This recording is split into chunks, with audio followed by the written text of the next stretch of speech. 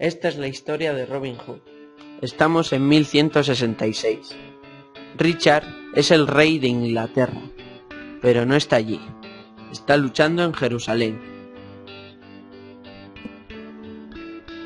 Aprovechando que su hermano no está, John decide robar a la gente del pueblo sus tierras y su dinero.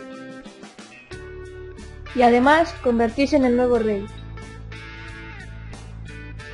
Y por eso la gente le odia. ¡Bú! ¡Fuera! ¡Vete ya! El sheriff tampoco trama nada bueno. Pretende hacerse rico casándose con Lady Marian, aunque ella dice... No, no. Yo quiero a Robin Hood.